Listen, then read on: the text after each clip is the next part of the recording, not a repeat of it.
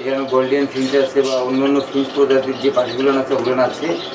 এর বিস্তারিত আমরা আ- আরিফের কাছ থেকে জানব এবং এই খামারে আসার যে প্রপার যে ঠিকানা, আমরা ভাইয়ের কাছ থেকে জেনে নেব ইনশাল্লাহ বড় ভাই, এই যে আপনার যে খামারটা পরিচালনা করেন আপনি, এখানে কি আপনার বেসার মতো কোনো পাখি আছে খামারে? এখন বর্তমানে সেল করার মতো নেই হ্যাঁ। তবে রেডি আছে মাঝখানে পরে আর কি সেল মাঝখানে করে ছেলে হবে ইনশাল্লাহ দর্শক?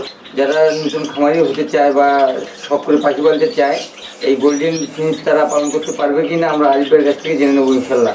বড় ভাই একটু যদি বলতেন। গোল্ডেন ফিন্সে আসলে খাবার খুব কম লাগে। এরা খাবার খুব কম খায় আমি জবের পাশাপাশি এদেরকে দেখাশোনা করতে একদিন খাবার দিলে মোটামুটি সাত দিন খাবার না দিলেও চলে। আরেকটা বিষয় সেটা হচ্ছে গোল্ডেনের আপনার নতুন অবস্থায় যদি কেউ লালন পালন করতে চায়, তবে মানে আমি মনে করি যে করতে পারে বাট অল্প কিছু দিয়ে করতে হবে। কারণ গোল্ডেন ফিন্স একটু সেন্সিটিভ যেমন এই পাখিটার রোগ বালাই খুব কম, ঠিক তেমনই আবার ধরেন যে এদের দুইটা মানে সিরিয়াস রোগ হচ্ছে, একটা ক্যান্সার, আরেকটা হচ্ছে যে মাইস। এই দুইটা রোগ এদের মেনলি আক্রান্ত হয়। এছাড়া গোল্ডেন পাখি সহজে আক্রান্ত হয় না রোগে। ওয়েদার আবহাওয়াটা যদি ঠিক রাখা যায় এদের জন্য মানে ঠান্ডা যেন না লাগে ঠান্ডাতে এদের মানে প্রবলেম হয় বেশি। টেম্পারেচার মেনটেন করে চললে এই পাখি খুব সহজে ইজিলি লালন পালন করা সম্ভব হয়। জি। আচ্ছা বড় ভাই এর হচ্ছে সঠিক যেটা টেম্পারেচার যেটা মাপ যেটা হচ্ছে তাপমাত্রার যে নির্দিষ্ট একটা মাপ এটা কোনটা রাখলে বেটার এটা টেম্পারেচার আমি আমি চেষ্টা করি আর কি পঁচিশ থেকে আঠাশ বা তিরিশ এর মধ্যে রাখার জন্য। আমরা জানতে পারলাম ফিঞ্চ সম্পর্কে এবং ফিঞ্চের খাবার দর্শক একদিন খাবার দিলে তিন চার দিন পাঁচ দিন পর্যন্ত রাখা যায় যদি কোনো ব্যস্ততা থেকে থাকে এদের খাবারের পরিমাণ খুবই কম আরিফ ভাই যেটা আমাদেরকে জানালেন আর কি। আর এদের ব্রিডিং সম্পর্কে একটু দয়া করে জানাবেন। গোল্ডেন আসলে ব্রিডিংটা বয়স না হওয়া পর্যন্ত এরা নিজের বাচ্চা নিজে করে না।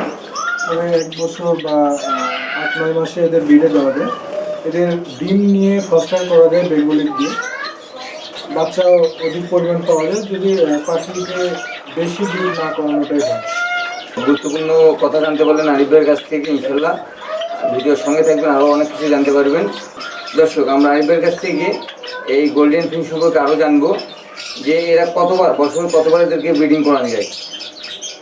গোল্ডেন ফিন্স আপনি চাইলে এদেরকে দিয়ে মাসে দুইবারও ব্রিড করাতে পারেন, যদি বেঙ্গলি গিয়ে ফস্টার করেন। এছাড়া নর্মালি এরা তিন থেকে চারবার ব্রিড করে, নিজের বাচ্চা যদি এরা নিজে দর্শক, জানতে পারলেন। দর্শক মেইনলি গোল্ডেন ফিন্স পালন করতে গেলে আপনাকে তাপমাত্রাটা যেটা টেম্পারেচার যেটা আছে এটা শরীর রাখতে হবে এবং এর পরিচর্যা করতে হবে। কেস পরিষ্কার রাখতে হবে দর্শক। যত নার্সিং করবেন এদেরকে, তত ওরা ভালো থাকবে দর্শক। দর্শক, আমরা এখন জানব জামা পাখির বিষয়টা। কারণ আরিফ ভাই এখানে যথেষ্ট পরিমাণ জামা পাখি আছে। এবং আরিফ ভাই জাবা পাখির বাচ্চা কি ছেলের মতো বাচ্চা আছে এরকম? আছে বিশ আছে। জোড়া হচ্ছে জামা পাখির বাচ্চা আছে সেল করার মতো। আমরা দেখব এদের কালার বলেন কি কি বড় ভাই এটা হোয়াইট কালারটাই আছে। দর্শক শুধু হোয়াইট কালারটাই আছে। আমরা পরবর্তী দেখব ইনশাল্লাহ। আমরা জাবা সম্পর্কে বিস্তারিত জানব। যদি দয়া করে একটু বলেন বড় ভাই। জাভাও আমার খুব ফ্রেন্ডসের মধ্যে খুব প্রিয় একটা পাখি জাভা কারণ জাভার মানে কলিং বলেন এর আচার আচরণ খুব ভালো, আর এদের মানে লালন পালনে তেমন কোনো মেজর খরচ প্রয়োজন হয় না। কারণ এদের নর্মালি ধান চিনা এগুলো দিয়ে আসলে বড় হবে এর মধ্যে যদি আপনি বেবি আসলে সব পর্যন্ত বাচ্চার গ্রোথ ভালো আছে। আচ্ছা এটা কি বাজার বাজারটা কেমন চলে? ভালো কি চলে?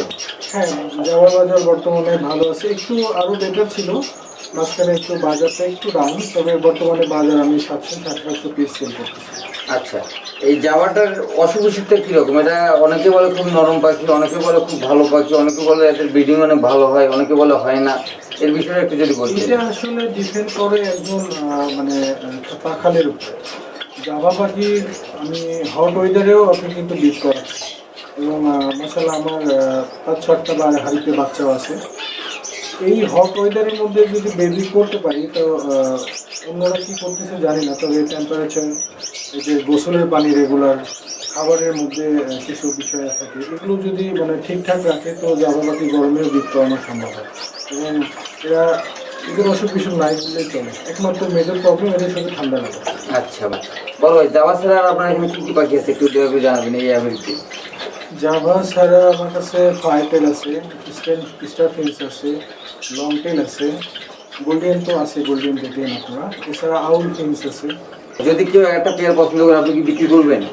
এখন সেল করার মতো অবস্থা নেই কারণ যেগুলো আছে এগুলো সব আমার রানিং পেয়ার এবং রানিং পেয়ার আমি আসলে সেল করি দর্শক জানতে পারলেন ভাইয়ের কাছ থেকে। ভাইয়ের কাছ থেকে অবশ্যই বেবি পাবেন।